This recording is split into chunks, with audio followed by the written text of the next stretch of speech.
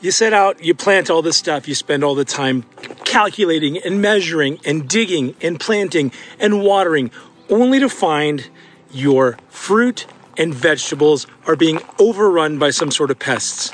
I'm Cameron. Welcome back to the Busy Gardener channel. In this video, I'm going to show you five serious pest situations we're dealing with in our orchard and in our garden. Let's get busy.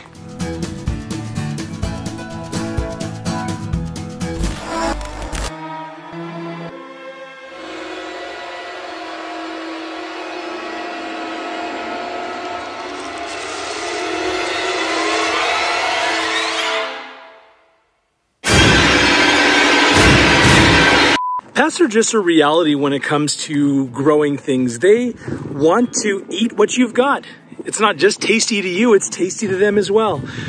But what happens when you just get overrun and are being attacked on multiple fronts by totally different types of pests? I'm gonna show you what we've got going on here in the orchard and what we've been doing about it. And if you stay tuned to the end of this video, I'm gonna show you how your own orchard or garden can turn on itself. So stay tuned for that. And now would be a great time to hit the subscribe button, hit the like button, hit the notification bell, and hit the join button below. All four of those things, because you might want to become a Busy Gardener member. All right, let's get on with it. Behind me here is our gorgeous Triple Crown Blackberry crop, but there's a sound. Can you hear it? Do you know what that is? Those are these green June beetles, which I used to think were Japanese beetles. It turns out they're not. They're just June beetles, but they're green and huge.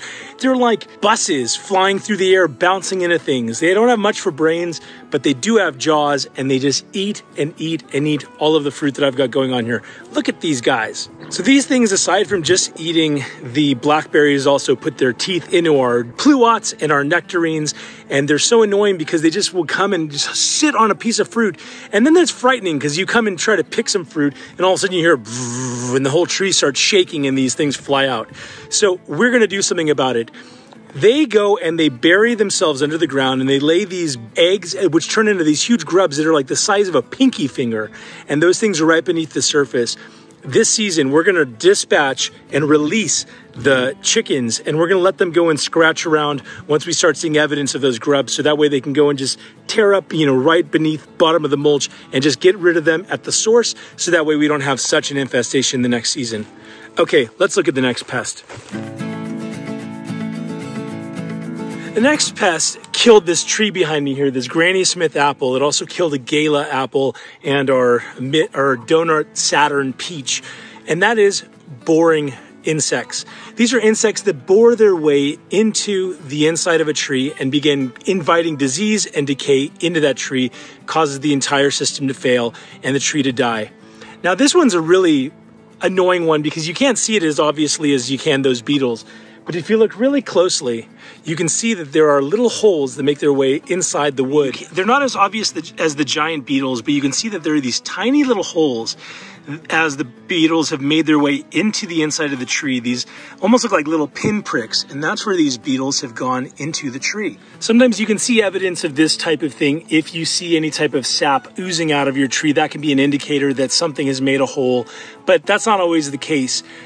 The only real ways to treat this once it's happened are to cut off the affected pieces of wood and discard them entirely. So it's really important to be keeping an eye on this type of thing. Now, one way to prevent this is to continually paint with something like an IV Organics 3-in-1 tree guard, which uh, we painted originally but didn't follow up with, and I think that's what contributed to the problem. The other is spraying your trees that you might think think might be affected with an overwintering spray, like it's just a horticultural spray. I'm going to be linking to all this stuff down below. So if you're dealing with any of these problems, you're going to have the right product for you. Okay, let's move on. While I'm going on to the next one, why don't you let me know what kind of pests are you dealing with in your orchard or garden? And what have you done to successfully get rid of it? Or are you still in the battle? Let me know in the comments below. Okay, a pest that has really affected my three-in-one nectarine planting, my Double Delight nectarine, Arctic Star, and Arctic Glow nectarines, as well as my Spice Zee Nectaplum behind the camera, is fungus. You may notice that these leaves are all twisted and gnarled. They also had kind of a white powdery substance on them. And this causes an issue over time. It, it, really diminishes the tree's ability to photosynthesize and creates a stress point for the tree to have all, so much of its foliage affected. You also notice it has these holes in here, which are similar to like a, a I don't remember what they call it, like a scatter shot or a, or a bird shot um, type of disease. Now, the way that this affects these leaves is oftentimes the the foliage will be affected at the bud level. So there will be some sort of fungus, which can be exacerbated by wet conditions. Now, I don't spray the actual canopy of my tree, so I think we just had an uncharacteristically wet time, which contributed to it. What I've done in this case is I've gone through and I've sprayed with an organic uh, copper based spray and it's a fungicide. And so that way it goes through and it's able to inhibit any further growth. That way it doesn't affect new buds that are branching out even on top of that. And it's something that I need to come back with next season before bud break. Like right as the before the buds break is a great time to come through and spray if you know that you have fungus issues. And so that way it kills it at the bud level and doesn't allow it to start to infect all of your stuff. It's kind of an interesting thing. You can see where the uh, affected tissue was. I came through and I sprayed, and you see that all of the new tissue after that, all the foliage that's come out, is not affected by fungus the way that this kind of initial set was. All right, there's a really destructive one that I want to show you next. This little hole right here should give you a hint as to what the destructive pest is, and that is ground squirrels. Now, we have been inundated this year with gophers. I made a gopher video on how to exterminate gophers using the gopher hawk. Fantastic, by the way. Link to that below. But also, we've seen a huge uptick in the number of rabbits and ground squirrels that have come through and been burrowing all throughout. But we've also seen a lot more rodent damage in the orchard and in the garden. The other day, I looked up and I saw these two ground squirrels sitting up on top of our kale plant, just eating away at the leaves. Those are the things that destroyed our zucchinis. It destroyed our cantaloupe plant. It's they've bitten into my pomegranates, which aren't even going to be ready for another two months. These things are voracious, and they're leaving holes all over the place. This is making life really challenging because they're undermining some of the structural things. You notice that here they've burrowed under the pavers that are leveling out this little shed. We have a whole system over here we've got some seating area and part of that is now starting to slope. Because of that, there are holes all over the place going beneath trees. So the way we're gonna treat these and deal with these, if I don't shoot them when I see them, is by putting some sort of trap that'll humanely uh, encourage them to come over, but then catch them quickly and hopefully give them a, you know, just a quick death.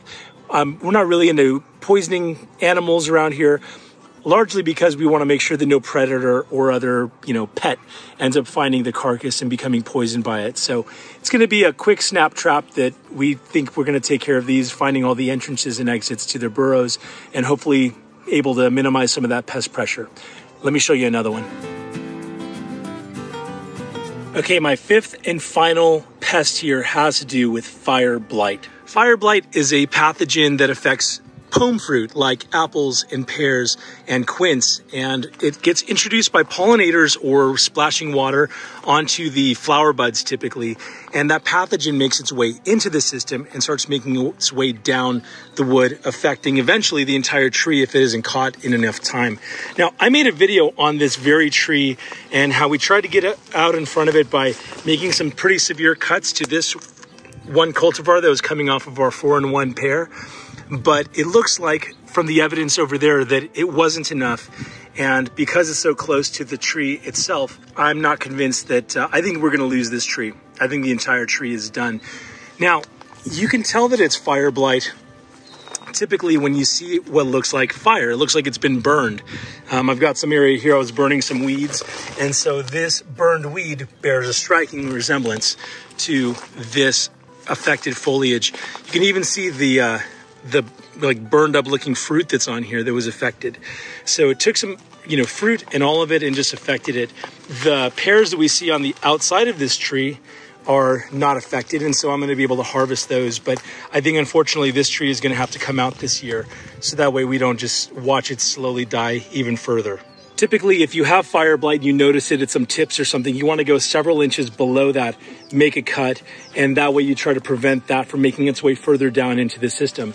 But in this case, in our case, we had fire blight that was coming out on a branch that was way out here, and I already made a cut all the way to the trunk, and we're still seeing fire blight. In fact, I'm seeing that this is already blackening the, the trunk over here, so the, the chance of it not already being in the system further down inside is very unlikely. Okay, so we get it. Pests come in from the outside, they fly in, they climb in, whatever, and they kind of start messing with it. But what happens when you have caused the problem yourself, like I have with this passion fruit that is absolutely eating my pomegranates, my dragon fruit, and my guava? If I didn't tell you, you would have no idea that this is a pomegranate underneath this passion fruit. There's so much passion fruit vine covering this poor tree. When I planted my passion fruit over there, I saw how vigorous it was. It had all of this chain link fence to climb on, and that was great. But here, it's got a much shorter span of chain link fence, and so it's using every other available structure to grow itself. This is my fault. I also haven't been on top of this. What I'm gonna do is take a pair of these hedge trimmers and just cut all the way down and cut off every bit of vine that's climbing onto these trees. The reality is, is that passion fruit only lives a few years before it, it dies, the vine dies, needs to be replaced.